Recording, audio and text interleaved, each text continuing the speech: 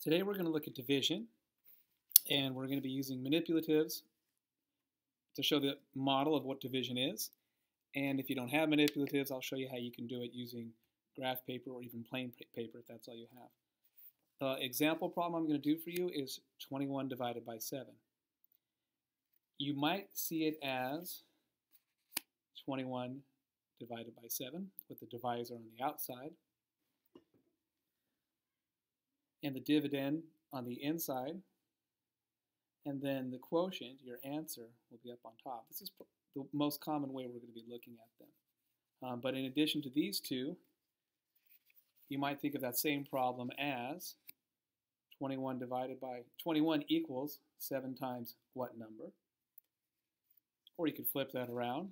7 times what number equals 21? All of these say 21 divided by 7 in a different way. And later on in your life, you'll be looking at it as a fraction. A fraction is a, is a, a fraction is a dividing problem. 21 divided by 7. We're going to stick with this one. And what I'm going to do is take some cubes. How many cubes am I going to take?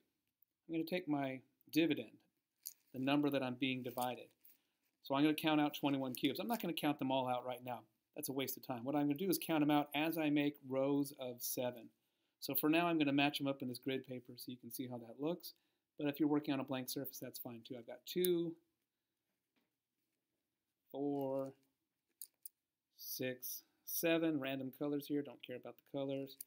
As I continue, I need to keep counting. Eight, 10, 12, 14. Some of you might recognize 14 is a multiple of 7. 16, 18, counting by twos to make it fast, 20, 21. So I've put down 21 cubes. I've got them in rows of 7. And there's one, two, three columns if you want to look at it that way. So the answer for 21 divided by 7 is 3. The quotient is 3. If I have 21 in rows of 7, I have 3 columns. All right? Now, if you don't have um, cubes, and this works for any problem. Now, if you don't have cubes, you can do the same problem on graph paper, except I'm going to count to 21 again. So I'm going to start 1, 2, 3, 4, 5, 6, 7. There's one of my rows, right?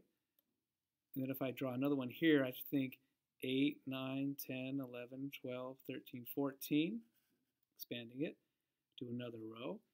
15, 16, 17, 18, 19, 20, 21. There's my 21. I have rows of 7. I have three columns. If you don't have graph paper, using blank paper, you can just make simple dashes. These aren't tallies that I'm going to go 1, 2, 3, 4, 5 and make a cross tally. This is 1, 2, 3, 4, 5, 6, 7, 8, 9, 10, 11, 12, 13, 14, 15, 16, 17, 18, 19, 20, 21. And until you have some of these math facts memorized, this is going to be the fastest way to go about it. Just take the number that you're going to, take the total number, your dividend, put it in rows of your divisor, 7, and then count the number of columns that you make to get your quotient when you're finished. That's it.